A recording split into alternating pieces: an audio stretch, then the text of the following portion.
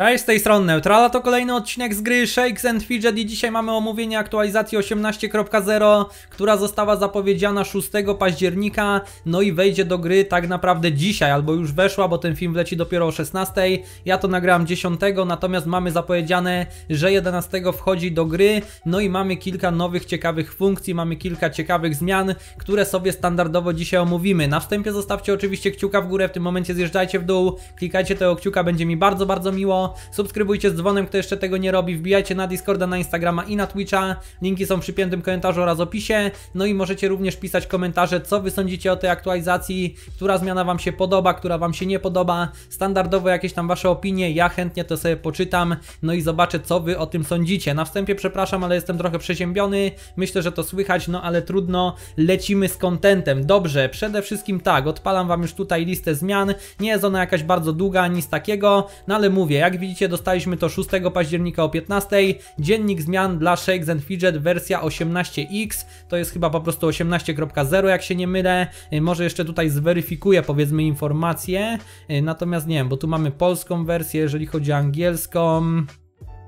To coś mamy napisane? Tak, 18.0, dokładnie. To nie wiem czemu po polsku jest 18.x, no ale to nie jest istotne. No i mamy, która zostanie wydana w środę 11 października. Zakładam, że to będzie koło południa, więc pewnie jak wy w tym momencie oglądacie ten film, no to już to jest, już możecie sobie zaktualizować aplikację na Steamie, odświeżyć przeglądarkę, zaktualizować aplikację na telefonach, no i powinno wam śmigać. Dobrze, jeżeli chodzi o nowe funkcje, no to mamy ogólne wydarzenie wyprawa, czyli te wyprawy, o które też mnie często pytacie, kiedy to będzie w gierce, kiedy to zostanie dodane, no to to zostanie dodane tylko na świecie EU7. To jest w ogóle bardzo ciekawe, może sobie zrobimy jakiś test, powiedzmy, może ja to zrobię na streamie albo na odcinku, bo konto na EU7 mam, natomiast właśnie od środy, czyli od dzisiaj, jak wy to oglądacie, na EU7, czyli tylko na nowym serwerze, y, będzie dostępne, będą dostępne już te wyprawy, to nowe wydarzenie y, wraz z samouczkiem, Y, no i to jest ciekawe, w sensie nie wiem czemu oni to robią tylko na nowym serwerze, może też jest to jeszcze jakaś tam forma testów,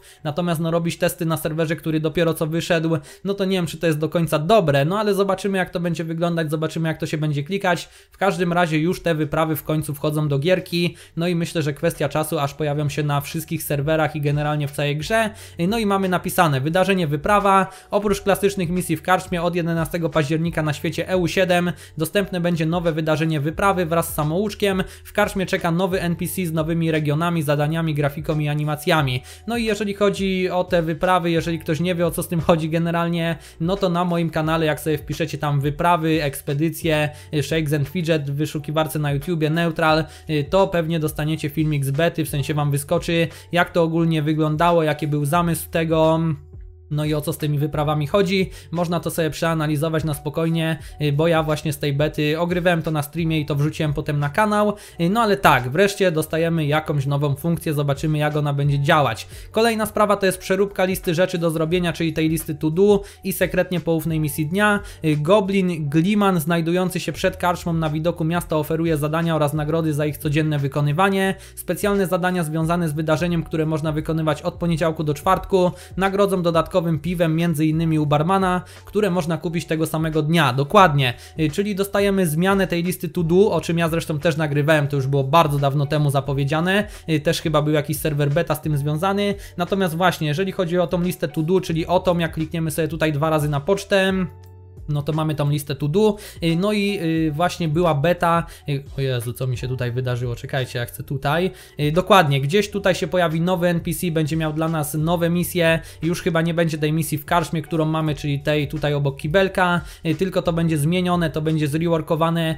No i jest to naprawdę fajne, bo to nam da możliwość wypicia jednego dodatkowego piwka tygodniowo, jak dobrze pamiętam. No i właśnie jakieś tam inne misje, jakieś ciekawsze nagrody. Ogólnie też o tym nagrywałem, jak sobie tam wpiszecie odpowiednią frazę na YouTubie, to też wam pewnie mój filmik wyskoczy, y, żeby tam się również rozeznać, jak to wygląda i o co z tym chodzi. No ale mówię, jest to naprawdę bardzo fajne, jest to naprawdę coś nowego, jakieś tam urozmaicenie do gierki, no i ta zmiana moim zdaniem na plus, y, no bo będzie co robić, będziemy sprawdzać te codzienne misje, będziemy, wiecie, no będziemy bardziej powiedzmy zachęcani do tego, żeby wbijać codziennie na Shakesa, chociaż i tak pewnie każdy, y, kto gra regularnie, no to wbija codziennie i robi te wszystkie codzienne czynności, no ale będzie to dodatkowe, dodatkowe piwko, będzie tam jakieś, będą inne nagrody przede wszystkim.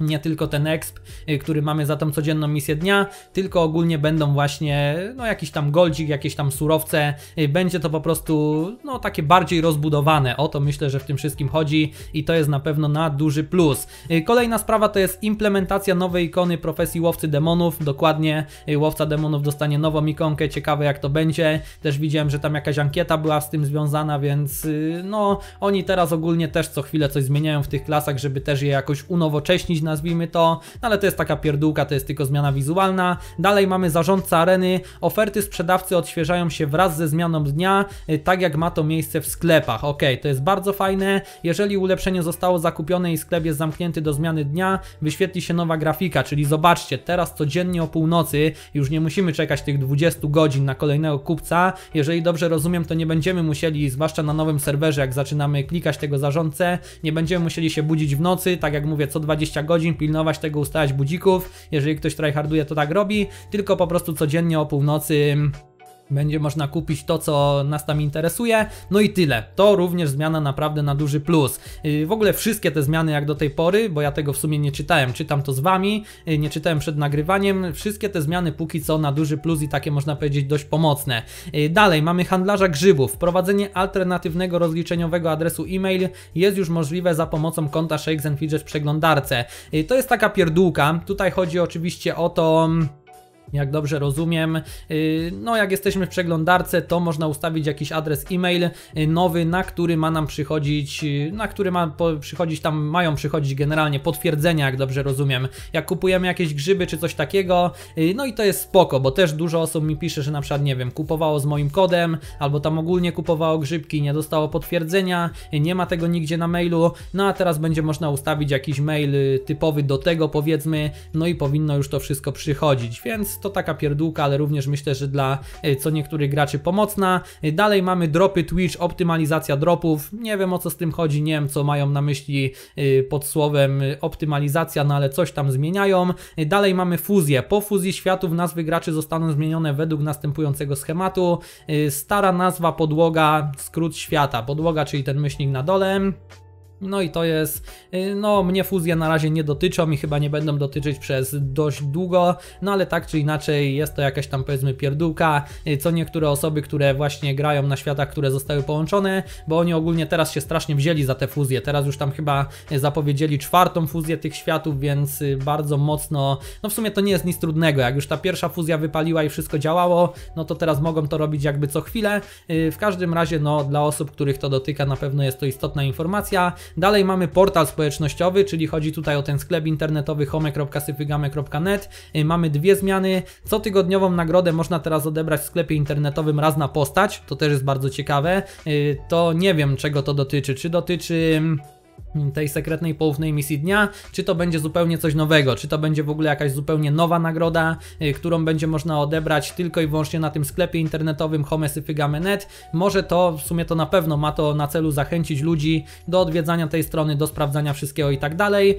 y, więc jak najbardziej spoko, będzie trzeba to sprawdzić i będzie trzeba to sobie odbierać. Y, no mówię, też jakoś tam, zawsze to jakiś boost do naszej postaci, no nie? Wiadomo, no trzeba zrobić dodatkową czynność, bo trzeba wejść na tą stronkę, trzeba się zalogować swoim ID postaci, no i dopiero to odebrać. Jak ktoś ma więcej postaci, no to będzie to cięższe powiedzmy. W ogóle myślę, że fajnie jakby zrobili takie ogólne ID dla konta ogólnego Shakes and Fidget. Tym ogólnym ID się logujemy na tą stronę homesyfygamy.net i tam powiedzmy mamy listę swoich postaci, które są połączone z tym ogólnym kontem i tam sobie wybieramy na którą postać chcemy kupić grzyby, odebrać powiedzmy właśnie tą nagrodę co tydzień i tak dalej. Myślę, że to by było naprawdę fajne i to by znacznie ułatwiało dla osób, które mają więcej niż jedną postać, no bo teraz trzeba się logować tak jakby no swoim ID postaci yy, przelogowywać, nie? Wpisujemy to ID postaci, logujemy się na jedno konto, potem się wylogowywujemy, wpisujemy drugie ID postaci na drugie i tak dalej, i tak dalej. To może być uciążliwe, ale może w przyszłości to zrobią. Yy, ten sklep internetowy się ciągle rozwija. Yy, no i teraz jeżeli chodzi o Kolejną sprawę, wiadomości w grze są teraz wyświetlane. To w sumie nie wiem o co chodzi do końca, to też ma niby y, dotyczyć portalu społecznościowego, nie mam pojęcia, y, no ale no to jakaś chyba pierdoła, nic nieznacząca. No i tyle. Mamy tutaj pełną listę nowych funkcji, ulepszeń i naprawionych błędów. Yy, mamy w naszym centrum pomocy. Yy, tutaj mamy takie najważniejsze zmiany, powiedzmy. Natomiast czy mamy faktycznie coś ciekawego? Yy, jeżeli chodzi o jakieś tam ulepszenia, yy, no to tak naprawdę. mm, Tutaj sobie czytam w angielskiej wersji, bo to jest napisane. Yy, ale tu no jakieś ulepszone grafiki w ogóle tego y, handlarza grzybów z tego co widzę. Y, Nowy, nowa postać może być utworzona z, klikając na wielki plus, y, w sensie guziczek z plusem w sekcji tam wyboru postaci. Timery są teraz wyświetlane w formacie dzień.miesiąc w polskiej wersji w ogóle językowej, to też ciekawe. No i jakieś tam powiedzmy no jakieś błędy naprawione, jak tak na szybko patrzę, ale tutaj chyba nie ma nic ciekawego. Generalnie to powiem wam tak, mogę wam zrobić screena, y, mogę wam tutaj tego screena wrzucić na szybko, to jest po angielsku, bo niestety y, po polsku może będzie na tej stronie, ale tu kto się powiedzmy, chociaż nie, dobra, zrobimy to inaczej. Trochę nie przemyślałem tego, ale tu już jakby jakoś nie interesują takie pierdółki bardziej, y, to można, a nie, bo to nas w ogóle nie przenosi do tego linku, który powinien. Dobra, to zrobimy tak, ja wam zrobię screena wersji angielskiej z naprawionymi błędami i z jakimiś tam y, właśnie poprawkami. Tutaj na szybko cyk, zrobimy to sobie w ten sposób. Y, To będzie ten screen taki trochę krzywy, ale niech będzie. Y, Zrobimy to sobie, niech będzie jako screenshot 1 y, i teraz wam tu na szybko podmienię. Przepraszam, że to robię tak wiecie, na żywo, że tak powiem, w trakcie nagrywania, ale niech będzie w ten sposób. No i dobra, i teraz może zrobimy to tak, cyk. Screenshot 1, tutaj Wam się podmieniło. No i jak widzicie mamy impro- improvements, czyli po prostu jakieś tam ulepszenia. No i mamy na dole naprawione błędy, również jakieś tam błędy zostały naprawione. Ale to wszystko można sobie samemu prześledzić, można zatrzymać film. Ja już nie będę, bo ja będę szukał y, polskich słów, żeby jakoś wam to przetłumaczyć i będzie to koślawo brzmieć, y, więc można sobie samemu dla siebie przeczytać. Mówię, to już są takie rzeczy, które są jakimiś tam pierdołami, nie ma tutaj z tego co widzę żadnych błędów, które y, były rażące, żadnych naprawionych, tak samo tych ulepszeń, więc to już dla samych siebie możecie przeczytać, a te najważniejsze rzeczy wam wymieniłem. Wszystko z mojej strony, ja wam pięknie dziękuję za uwagę, pięknie wam dziękuję za oglądanie, Y, mam nadzieję, że się podobało. Dawajcie znać w komentarzu, co myślicie o tych przede wszystkim nowych funkcjach. Yy, możecie oczywiście subować z dzwonem, kto jeszcze tego nie robi. Wbijajcie na Discorda, na Instagrama i na Twitcha. Linki są w przypiętym komentarzu oraz opisie. Kciuka w górę nie zapominajcie zostawić. No i mówię, przede wszystkim waszych opinii w komentarzu o tej aktualizacji. Dziękuję ślicznie za uwagę, dziękuję za oglądanie. Trzymajcie się i cześć!